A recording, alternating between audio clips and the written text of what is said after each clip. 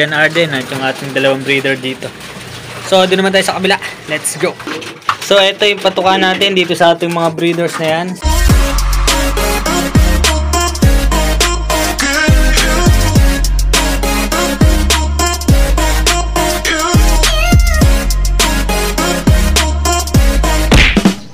Good morning mga Sonic. So, welcome back dito sa ating channel, Sonic Love Vlog. So, yun mga Sonic. So, tulad pa rin ng dati kung bago ka pa lang dito sa ating channel, huwag mo kalimutan mag-subscribe.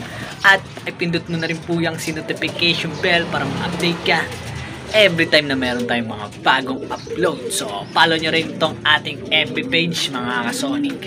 So, yun. So, for today's video, update-update lang muna tayo. So, wala pa tayong karera. So, hindi natin alam kung magkakaroon ba ng 3 laps na ano sa derby. Re-entry. Re-entry.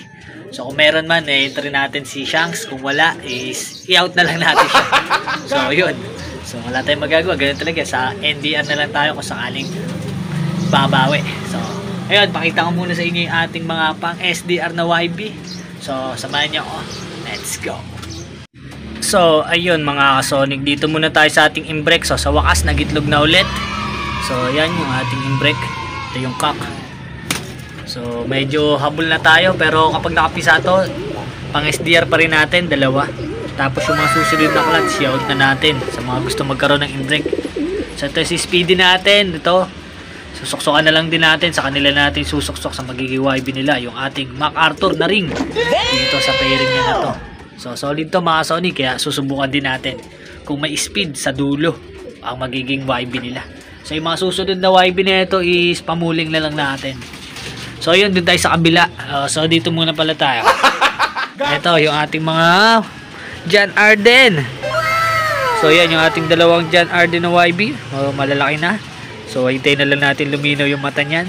Tapos, yung ina-out natin na John Arden na to, eto. So, malapit na rin luminaw yung kanyang mata. So, tingnan na lang natin kung ano magiging kulay ng mata niya, mga Sonic. So, wala pa rin nakakuha sa kanya kahit sa hulugan, wala pa. So, ito mga YB na to, na John Arden, di natin to i-out. Gagawin natin itong future breeder. Itong ating Silver Eye. So, yan, yung mag magkakamag-anak lang yan. So, yun, yung tatlong yan. So, doon sa kabila. So dito mga Sonic is ayan.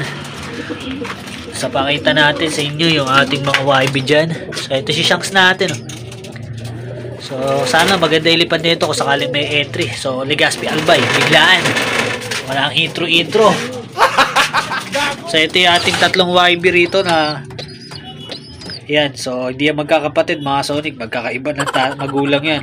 So ito solong anak ng ating Black Eagle. Yung Black Eagle natin, nagitlog na rin yan. Ayan. So, yan. Mismo, yung magulang na ito, puti na to. So, puti nilabas nila. Bakit ganun? Puti na may itim. Okay sana kung itim na may puti. Kaso lamang puti. So, yun naman yung pula is dito yan mga Sonic. Ito magulang. Florizon at yung John Arden natin na to. Ayan. Ang nestmate. Ang nestmate ng pula na yon nandito. Ayan, yung makikita nyo dyan, yung pula na yon Yan lang nestmate niya. So, itong dalawang yan, tsaka yung isang yun, yung mag-nestmate, anak ni Speedy. So, pares blue bar. Ito, tatay, red bar. Yan, yung pares ni Speedy. So, ito naman, yung ano na to, mukhang saddle. Saddle ang kulay niya, mga Sonic. Kakaiba. Ito ang magulang. Yan, yung ating Battenberg at yung full sieve nung second overall ni Mark Kevin. Ayan mismo ang magulang nun. So, ito naman yung update dito sa ating YB na ibibigay kay Boss Renante. Ayan. So, solid dyan. Ayan. So, tigi sa kami dyan pag nagkataon sa akin yung hen. Sa kanya isa. So, ito nag-sitter yung ating John Arden at yung ating Florizone. So, ayan. Abangan nyo na lang to pag lumaki. Kapag tumutuka na. So dito is mag-out na rin tayo ng magiging it, ano na ito sunod, inakay.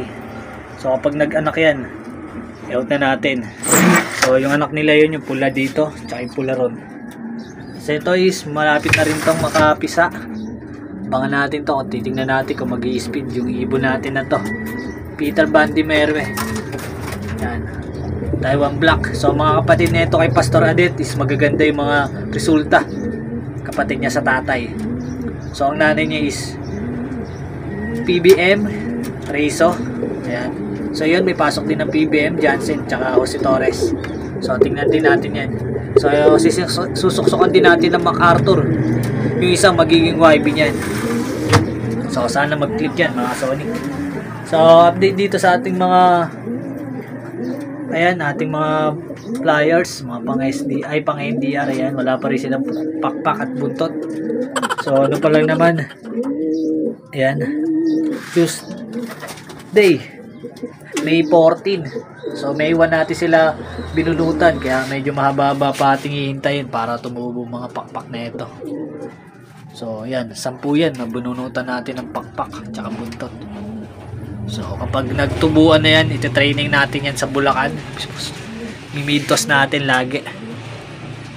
So, ayan lang muna yung update at papakainin na natin sila maya-maya konti. So, ayun, mamaya ulit. Peace. A few moments later. So, ayun mga Sonic, sa papatukan na tayo. So, unahin natin ibigay yung ating pellet. Ayan. So, kapag nagpapakain tayo, inuuna natin yung mga Sonic.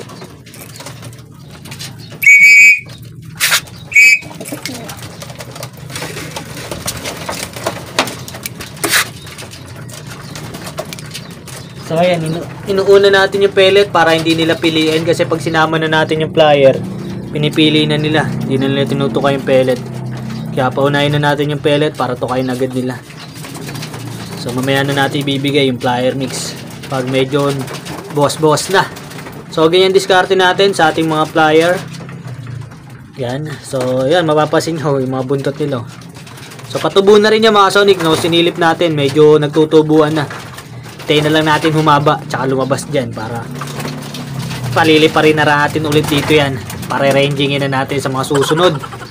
At imimidtos natin sa Philippine Arena sa mga susunod na ano kapag uh, maganda na yung ranging nila dito sa atin. So bigyan na natin ng flyer. Gusto nila. So pag nagpakain tayo mga Sonic konti lang. Umaga is dalawang taka lang. Yan flyer So, dalawang taka lang pinapatukan natin sa kanila sa umaga. So, sa kanila na lahat yan. At sa hapon natin sila pinapakain ng marami. So, ayun. Susundod na natin yung ating mga breeder. So, at mamaya ulit. Peace. So, ito. Binigyan na rin natin yung ating mga stock bird. Nandiyan Arden at yung ating dalawang breeder dito. So, doon naman tayo sa kabila. Let's go. So, ito yung patukan natin dito sa ating mga breeders na yan. So, ilalagay muna natin. So, wala tayong cameraman, kaya yun. Yun. So, nakakalagay na natin sa ating mga breeders. So, yan. So, ang gamit nating patuka mga kasonic yan, Wingmaster Breeder Mix. So, hindi yan sponsor. So, shout out sa Wingmaster. Baka naman, Wingmaster. so, yun lang mga Sonic. Yan. Tamang pakain lang tayo sa ating mga breeders. So, yung suppliers natin, ayun, ubus na nila mga Sonic. So malalakas sila kumain. So kuno-kontian lang natin para hindi sila masyadong magsilobo. Kaya yun. So hindi naman sila rumoronda kasi kaya diyan lang sila pag rumoronda na yan, pwede nang panakainin ng madami-dami yan. So yun lang. Ang update dito sa ating mga ibon, mamaya ulit. Peace. So ito nga pala yung probiotics na ginagamit natin kapag Martes. Ayan, Microbest Probiotics. So, ito na yan mga Sonic. Tinimpla na natin sa isang litrong tubig. At ipapainom na natin yan dito sa ating mga flyers at breeders mga Sonic. So, tuwing Martes is probiotics tayo. At yun, painom na natin yan mga Sonic. Let's go! Yun. So, ito na. Painom na natin sa kanila yan. At baka ipainom pa ng iba. Ayan. So, marami-rami tayong ilalaro ng NDR. So sana kahit ilan lang dyan pumasok sa overall, mapapasok natin sa overall mga Sony. So tingnan na lang natin magiging resulta kung mauubos yan sa training pa lang. so abangan natin yung mga Sony kung sino yung mahusay dyan sa ating mga na-breed na yan. So ito si Shanks. So yun lang mga Sonic at painumin din natin yung ating mga breeders. Peace!